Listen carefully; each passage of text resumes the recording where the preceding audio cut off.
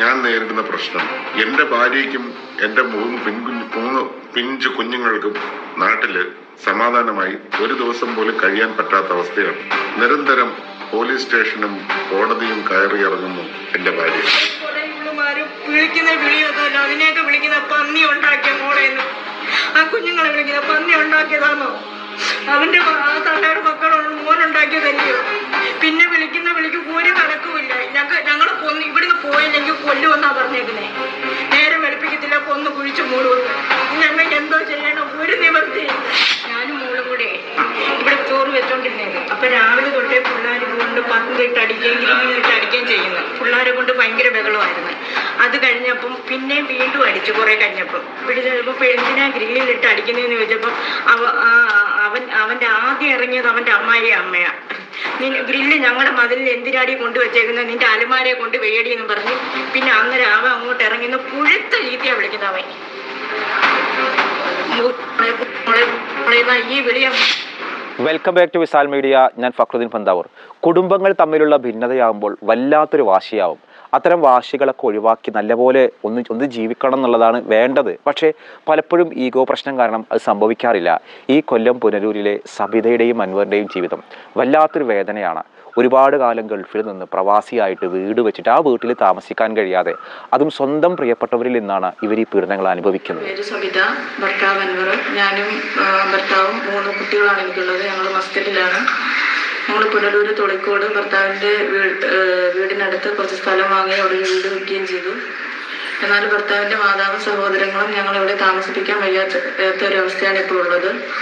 ഞങ്ങൾ ഈ സ്ഥലം വിട്ട് കുട്ടികളെയും കൊണ്ട് ഇവിടുന്ന് പോകണമെന്നാണ് ഭർത്താവിന്റെ മാതാവും സഹോദരന്മാരും പറയുന്നത്. ഞങ്ങൾ ഈ നാട്ടിൽ വരുന്നതിന് മുന്നേ ഇതെല്ലാം കൈകാര്യം ചെയ്തുകൊണ്ടിരുന്നത് ഭർത്താവിന്റെ സഹോദരങ്ങളാണ്. നാട്ടിൽ വന്നപ്പോൾ അവർ വീട് പണി പൂർത്തിയാക്കാത്തത് മൂലവും കുറച്ച് പൈസയുടെ പ്രശ്നങ്ങളുമായിട്ട് രണ്ടായിരത്തി ഇരുപത്തിരണ്ടിൽ അവർ ഭർത്താവിന്റെ സഹോദരന്മാർ രണ്ടുപേരും അവരെ ഭാര്യയും മാതാവും ഞങ്ങളെ വീട് കയറി ആക്രമിക്കുകയും എന്നെയും കുഞ്ഞുങ്ങളെയും മാരോ മാരകമായി ഉപദ്രവിക്കുകയും ചെയ്തു. അതിന്റെ ഒരു കേസിൽ ഒരാൾ ജയിലിൽ പോവുകയും ഒരാൾ റിമാൻഡിൽ ജാമ്യത്തിൽ ഇറങ്ങുകയും ചെയ്തതാണ്.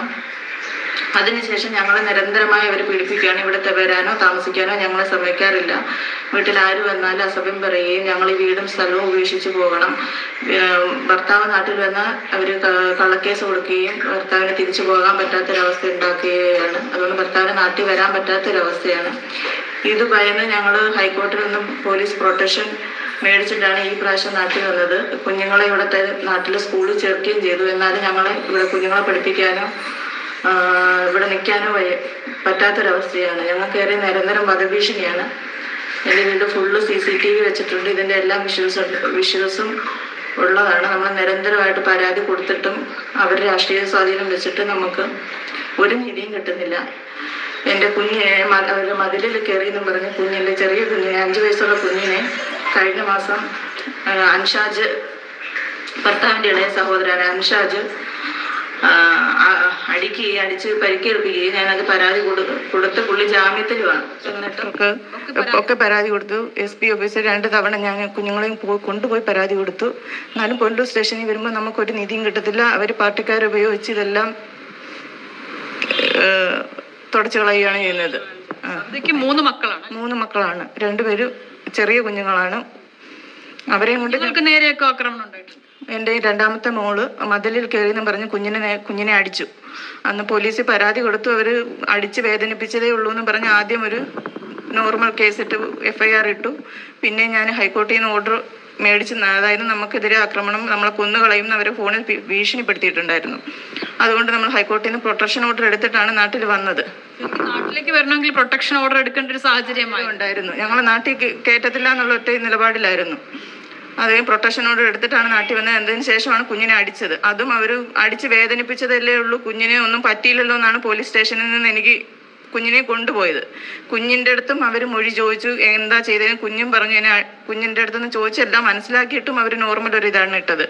പിന്നെ ഞാൻ അത് വീണ്ടും കണ്ടംപ്റ്റ് ഫയൽ ചെയ്തതിന് ശേഷമാണ് എനിക്ക് വീണ്ടും ജെ ജെ ഇട്ടവർ എടുത്തത്. ജാമ്യത്തിൽ ഇറങ്ങിയിട്ടും വീണ്ടും ഞങ്ങൾക്കെതിരെ അക്രമമാണ്.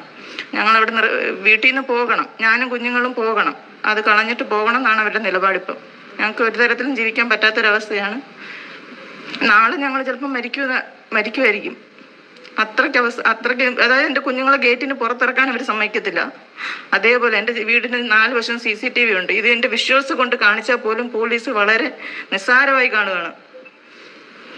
പോലീസിന്റെ ഭാഗത്തു നിന്ന് അപ്പൊ ഇത് ഇതിങ്ങനൊരു റെസ്പോൺസ് ആണ് കിട്ടിക്കൊണ്ടിരിക്കുന്നത് അതിന് തക്ക സ്വാധീനം ഈ പറയുന്നവർക്ക് അവർക്ക് നല്ല രാഷ്ട്രീയ സ്വാധീനമുള്ളത് കൊണ്ട് നമ്മൾ എവിടെ പരാതി കൊടുത്താലും അവർ രാഷ്ട്രീയ സ്വാധീനം ഉദ്യോഗസ്ഥരെ സ്വാധീനിച്ച് ഇത് കേസ് ഇല്ലാതാക്കുകയാണ് ചെയ്യുന്നത്. അതുപോലെ നമുക്കെതിരെ നിരന്തരം കള്ളപ്പരാതി കള്ള ഇത് കൊടുക്കുകയാണ് ചെയ്യുന്നത്. എന്റെ നിങ്ങളുടെ ഒരു അധ്വാനമായിരുന്നില്ലേ? എത്രയോ വർഷങ്ങളായി നിങ്ങൾ അധ്വാനിച്ച് എല്ലാ പൈസയും കൊടുത്ത് വാങ്ങിയതാണ്. അതിപ്പോ നമുക്ക് കേറാൻ പോലുള്ള അവകാശമില്ല. അവർ പറയുന്നത് ഇപ്പം ഹസ്ബൻഡിന്റെ അമ്മ ആയാലും പറയുന്നത് ഞങ്ങൾ മരിച്ചാൽ ഇതെല്ലാം പള്ളി പള്ളി പള്ളിക്കാരെയും കൊണ്ടുവന്ന് പറഞ്ഞാണ്. എനിക്ക് മൂന്ന് പെമ്മക്കളായതുകൊണ്ട് ഈ പറഞ്ഞ സഭ അതായത് പള്ളിയുമായിട്ട് ബന്ധപ്പെട്ടിട്ടുള്ള പള്ളിയുമായിട്ട് ബന്ധപ്പെട്ട് കുറച്ച് ആൾക്കാർ വരെ സംസാരിക്കുകയൊക്കെ ചെയ്തിരുന്നു. അപ്പോഴും നമ്മൾ പറഞ്ഞതാണ് ഞങ്ങൾക്ക് വേറെ ഒന്നും വേണ്ട ഞങ്ങൾക്ക് മനസ്സമാധാനമായിട്ട് ഇവിടെ ജീവിച്ചാൽ മതി. അപ്പൊ അവർ പറയുന്നത് നിലവിലുള്ള കേസുകളെല്ലാം പിൻവലിച്ച് നമ്മൾ പോകണം എന്നാണ് പറയുന്നത്. ഞങ്ങളെ വീട് കയറി ആക്രമിച്ച കേസ് അവരുടെ പേരിലുള്ള കേസുകളെല്ലാം പിൻവലിച്ച് നമ്മൾ ഇവിടുന്ന് പോകണം നിങ്ങൾ വിറ്റിട്ട് പോകണം എന്നാണ് പല പാർട്ടിക്കാരും നമ്മളെ വിളിച്ച് പറഞ്ഞതും അങ്ങനെയാണ്. നിങ്ങൾ കിട്ടുന്ന വിലയ്ക്ക് വിട്ടിട്ട് പോവുക. അതാണ് അവരുടെ നിലപാട്. നിങ്ങളെ നിർബന്ധിക്കുന്ന പോലെ അതെ അതെ. നിങ്ങൾ ഒരു ആയുഷ്കാലം മുഴുവൻ അധ്വാനിച്ച് നിങ്ങളുടെ അധ്വാനത്തിന്റെ പകുതിയും നിങ്ങൾ പ്രവാസ ലോകം ജീവിച്ച് തീർത്തിട്ട് പിന്നെ നിങ്ങൾ എങ്ങനെയാണ് വിട്ടത് നമ്മൾ അതിൽ അതിൽ ലോണും കാര്യങ്ങളും എല്ലാം നമുക്കുള്ളതാണ്. ഇപ്പോഴും ലോൺ ഉണ്ട് ലോണുണ്ട്. നാൽപ്പത്തഞ്ച് ലക്ഷം രൂപയോളം നമ്മൾ ലോൺ എടുത്തിട്ടാണ് ഈ വീട് പണി പൂർത്തിയാക്കാത്തതും അതിന്റെ കുറച്ച് കാര്യങ്ങൾ പിന്നെ വീട് പണിഞ്ഞതും അല്ല നാൽപ്പത്തഞ്ച് ലക്ഷം രൂപ നമുക്ക് ലോൺ എടുത്തിട്ടുണ്ട്. എന്നിട്ടും നമ്മളെ ജീവിക്കാൻ വിടത്തില്ല എന്നുള്ളതാണ്. നിങ്ങൾ ഇനിയിപ്പോ ഇവിടുന്ന് പോകണം എന്നുള്ളതാണ് അവരുടെ ഒരു തീരുമാനം. നമ്മൾ അവിടെ താമസിക്കാൻ പാടില്ല. ആ ഒരു ഏരിയയിൽ മൂന്ന് വീട് മാത്രമേ ഉള്ളൂ. നമുക്കാണെങ്കിൽ പരിസരം താമസിക്കുന്ന ആൾക്കാരെ പോലും വളരെ ഇത് അറിയത്തില്ല. നമ്മൾ വർഷ അതായത് മൂന്ന് വർഷം കൂടുമ്പോഴൊക്കെയാണ് ഒരു പ്രാവശ്യം വരുന്നത്. അത് തേർട്ടി ഡേയ്സ് ലീവിലാണ് ഞങ്ങൾ വരുന്നത്. എന്നാലും നമുക്കിവിടെ ലീവ് ഒരു ട്വന്റി ട്വന്റി ഫൈവ് ഡേയ്സ് ആകുമ്പോൾ ഞങ്ങൾ തിരിച്ചു പോവുകയാണ് പോയത്. ഈ പന്ത്രണ്ട് വർഷത്തിനിടെ ഇത് നാലാമത്തെ പ്രാവശ്യമാണ് നാട്ടിൽ വരുന്നത്. ഇത്തരത്തിൽ നിങ്ങളോടൊരു അതെ. ഇവിടെ നടക്കുന്ന നമുക്ക് പിന്നെ ഇത് ഇപ്പോഴാണ് സി സി ടി വി എല്ലാം വെച്ചത് കൊണ്ടാണ് നമ്മളത് ഇവിടെ നടക്കുന്നതൊക്കെ കാണുന്നതും. അതിന് മുന്നേ നമ്മൾ ഒന്നും അറിഞ്ഞില്ല. നമ്മൾ വസ്തു മേടിച്ചിട്ടിട്ട് അവിടെ പോയേക്കുമായിരുന്നു ഇതൊന്നും പോരാത്തതിന് ഇവരുടെ പേരിലുള്ള പത്ത് സെന്റ് വസ്തു അനധികൃതമായി നിർമ്മാണം നടക്കുന്നുവെന്നാരോപിച്ച് സ്റ്റേ വാങ്ങിയിരുന്നു. കൂടാതെ വീടിന് സമീപത്തെ കൃഷിയും നശിപ്പിക്കുന്നതിന്റെ തെളിവുകൾ സഹിതം പോലീസിന് കൈമാറിയിട്ടും യാതൊരു നടപടി നമ്മുടെയൊക്കെ ലൈഫിലും ഇതുപോലെ പ്രശ്നങ്ങൾ നമ്മൾ അകപ്പെടുന്നുണ്ടെങ്കിൽ ഒന്ന് വിട്ടുവീഴ്ചക്ക് ഉമ്മയും ഉപ്പയും മക്കളും ഒക്കെ ഒന്ന് തുറന്ന് സംസാരിച്ച് ചെയ്യാം. അവനവന്റെ കുടുംബ ബന്ധങ്ങളെ ചേർക്കാനല്ലേ ഹബീബ നബി നമ്മ പഠിപ്പിച്ചത്? അത് വിട്ടൊഴിഞ്ഞിട്ട് അല്ലെങ്കിൽ അത് വിച്ഛേദിക്കാനല്ലല്ലോ? ആർക്കിടയിലാണ് ന്യായവും അന്യായവും എന്ന് സ്വയം ഒന്ന് ചിന്തിക്കുക എന്റെ കയ്യിലാണെങ്കിൽ പിഴവാണെങ്കിലും അല്ലെങ്കിലും വിട്ടുവീഴ്ചയ്ക്ക് രണ്ട് കൂട്ടരും തയ്യാറായാൽ ഇത്തരം പ്രശ്നങ്ങൾ അവസാനിക്കാം. എല്ലാ പ്രവാസവും കഴിഞ്ഞ് അവസാനം വന്ന് വീട്ടിൽ വന്ന് സന്തോഷത്തോടെ കിടന്ന് ഉറങ്ങാനൊന്നും കഴിയുന്നില്ലെങ്കിൽ അതൊരു വേദനയാണ്. പിന്നെ ഇതൊന്നും വെട്ടിപ്പിടിച്ചൊന്നും ഉണ്ടാക്കാനില്ല. ഇത് കഴിഞ്ഞാൽ നമുക്കൊരു മരണപ്പെടാനുണ്ട്. അവിടെ ഒരു ലോകമുണ്ട്. അതിനെക്കുറിച്ച് നമ്മൾ ചിന്തിക്കുക. ഈ ലോകത്തിനപ്പുറം ആഹ്റത്തിൽ നമുക്കൊരു ജീവിതമുണ്ട്. ഒരു സന്തോഷമുണ്ട്. അതിനു വേണ്ടിയുള്ള ഒരു അധ്വാനിക്കാനുള്ള ഒരു സ്പേസാണ് ഇവിടെ. അതുകൊണ്ട് തന്നെ വെട്ടിപ്പിടിച്ചവർക്ക് ഒന്നും നേടാൻ കഴിയില്ല. ഈ കുടുംബത്തിന് നല്ല സമാധാനമുള്ള ഒരു നീതി ഉണ്ടാവട്ടെ എന്ന് പ്രാർത്ഥിക്കുകയാണ്. സ്ഥാപനങ്ങൾ തുടങ്ങാൻ സാമ്പത്തികമായി ഞാൻ സഹായിക്കുകയും ഞാനൊരു വീട് വെച്ചപ്പോൾ സാമ്പത്തികം തിരിച്ചു ചോദിക്കുകയും വീട് പണി തീർത്ത് തന്നുകൊള്ളാമെന്ന് അവർ വാക്ക് പറയുകയും ഞാൻ നാട്ടിൽ വന്നപ്പോൾ ഇവർ ഒരു വിധത്തിലുള്ള പണികൾ ചെയ്യാതിരിക്കുകയും അതിനെ ചോദ്യം ചെയ്യുകയും ചെയ്തിട്ടുള്ള വിരോധത്തിൽ എട്ടാം തീയതി ജനുവരി രണ്ടായിരത്തി ഇരുപത്തിരണ്ടിൽ ഇവർ രണ്ടുപേരും അൻസാറും മനു അൻഷാജും ചേർന്ന് എന്നെ എന്റെ വീട്ടിൽ കയറി എന്നെയും ഭാര്യയും എന്റെ മൂത്ത കുഞ്ഞിനെയും ശാരീരികമായി ഉപദ്രവിക്കുകയും ഞങ്ങൾ ഹോസ്പിറ്റലൈസ്ഡ് ആവുകയും പുനലൂർ പോലീസിൽ പരാതി കൊടുക്കുകയും എഫ്ഐആർ രജിസ്റ്റർ ചെയ്യുകയും അൻസാർ റിമാൻഡിൽ പോവുകയും ചെയ്തതാണ്. മറ്റേ ഒളിവിൽ പോയി. പിന്നീട് ഇവർക്ക് ജാമ്യം ലഭിക്കുകയും ജാമ്യത്തിൽ നിൽക്കുന്ന പ്രതികളും കൂടെയാണ്. ജാമ്യ വ്യവസ്ഥകൾ ലംഘിച്ചുകൊണ്ട് ഇപ്പോഴും നിരന്തരം ഞങ്ങളെ പീഡിപ്പിച്ചുകൊണ്ടിരിക്കുകയാണ്. ശാരീരികമായും മാനസികമായി ഉപദ്രവിച്ചുകൊണ്ടിരിക്കുകയാണ്. ഏത് തരംതാണ പ്രവൃത്തിയും ചെയ്യുമെന്നുള്ളതിന് ഒറ്റ ഉദാഹരണമാണ് അൻഷാജിന്റെ ഭാര്യയുടെ അനിയത്തി. അവരിവിടെ താമസിക്കുന്നവരല്ല. അവർ കുന്നിക്കോട്ടാണ് അവരുടെ സ്വദേശം. എന്നെ ഉപദ്രവിക്കാൻ വേണ്ടി മാത്രം ഇവിടെ വന്ന് താമസിക്കുകയാണ് അൻഷാജിന്റെ വീട്ടിൽ. അൻഷാജിന്റെ ഭാര്യയുടെ അനിയത്തിയും ഭാര്യ മാതാവും ചേർന്ന് എനിക്കെതിരെ മുന്നൂറ്റി അമ്പത്തിനാല് വകുപ്പ് വരുന്ന രീതിയിൽ കള്ളക്കേസ് കൊടുത്തിരിക്കുകയാണ്. ഇതുമൂലം എനിക്ക് നാട്ടിലേക്ക് വരാൻ പറ്റാത്ത അവസ്ഥയുണ്ട്. ഇത് മുതലെടുത്ത് എന്റെ കുഞ്ഞിനെ അവർ ആക്രമിച്ചു. അൻഷാജിന്റെ കുഞ്ഞിന്റെ നാല് വയസ്സുള്ള അഞ്ച് നാല് അഞ്ച് വയസ്സുള്ള കുഞ്ഞിന്റെ മുഖത്തടിച്ചു. എന്റെ വീട്ടിൽ കയറി ആക്രമിക്കുകയും എന്റെ ഭാര്യയുടെ കൈക്ക് പരിക്ക് പറ്റുകയും ചെയ്തു.